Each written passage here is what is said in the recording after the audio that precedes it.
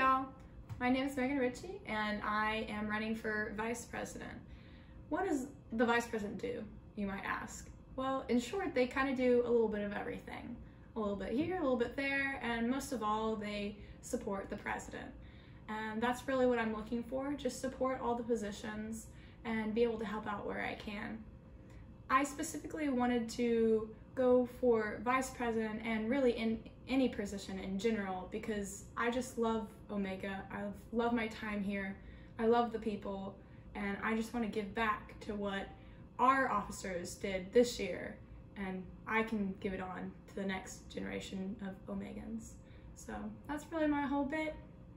See you on the flip side. Vote for me. Got him.